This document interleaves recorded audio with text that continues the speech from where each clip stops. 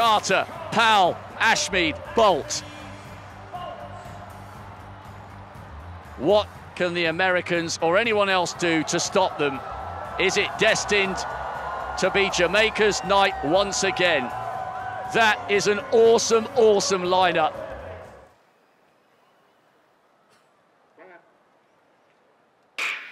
This is the arena, the arena where history is made. Great start there from Nesta Carter. What will Asafa Powell do on the second leg? Gatlin's got a lead. Asafa Powell needs to close this down. The Americans are ahead towards the halfway stage. Clean changeovers for both. This is going to be tight. The Americans are up front. Usain Bolt needs to produce the magic. USA, Usain Bolt. Oh, and there's a baton nightmare there for the Americans. Cometh the hour, cometh the man.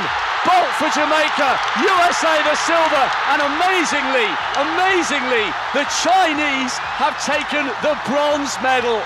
It all went wrong for the Americans on the last changeover. It was fantastic down the back straight. Justin Gatlin pulled away from Asafa Powell, but on the anchor leg, Mike Rodgers had a nightmare. Jamaica 37.36, the United States 37.77, and China, as I thought, came home for the bronze medal. Look at Justin Gatlin. It was a high hand and a good take by Tyson Gay. Asafa Powell had run a good run down the back straight, to be fair, for Jamaica. But look at Tyson Gay on the left shouting, hand, hand, put your arm up. Now, breaking news here. We are just hearing that the American quartet may well have been disqualified. That puts China up to second. Canada get the bronze. And you would think it must have something to do with Mike Rodgers being out of the changeover position on that anchor leg. Another brilliant title for the Jamaicans. What a reception this will be for a British quartet who could, could do something very special tonight. Ujah, Gemili, Talbot, Mitchell Blake, a great quartet.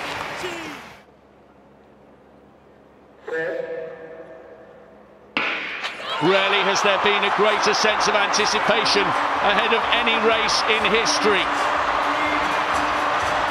Great Britain going well in seven. Let's watch the changeovers. Britain now up on the outside, past the Chinese. Gatlin running well. And the Jamaicans coming through now. It's a brilliant bend by Great Britain. The Jamaicans have some work to do. So do the Americans. Britain, Jamaica, and the United States. And look at this from Mitchell Blake. It's Great Britain. Great Britain, yes! I can't believe it. Great Britain have taken the gold medal. Well, let's look at the replay. Ujah absolutely flew in lane number seven. Omar McLeod ran a tasty first leg as well. American were at this point. A beautiful changeover. Adam Gemili, fueled by not being in the individual event here in London, ran the back straight of his life. Gatlin was flying as well. Let's look at the changeover again of the British team. Brilliant, absolutely outstanding. There is no better runner in the world at the moment for me. He'd be in my top three. Danny Talbot runs a bend like nobody else. When he ran in that semi-final around 20.16 seconds, he flew round. And look at that, a little bit of an adjustment by the American squad on their final changeover. And in the center of the picture, Usain Bolt was about to unleash the second gear. The desperately sad injury for the best man, the fastest we've ever had. But look at that, under pressure, not a chance. Tonight it was going to be Great Britain and Northern Ireland.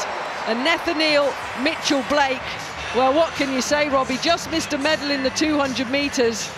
Anywhere else in the world could he have done that? You never know. But in London, there was no chance he was being caught.